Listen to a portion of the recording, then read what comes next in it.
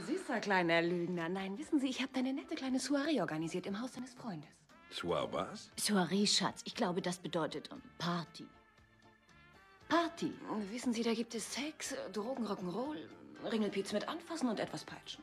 Sie ah. wissen schon, eine stinknormale Highschool-Knutsch- und Bumsorgie. Ich meine äh, nicht etwa so eine Sache wie Kerzenwachs auf den Nippeln oder im Sarg oder auf dem Schrank oder sowas, ja. Nein, nein, nein, nein.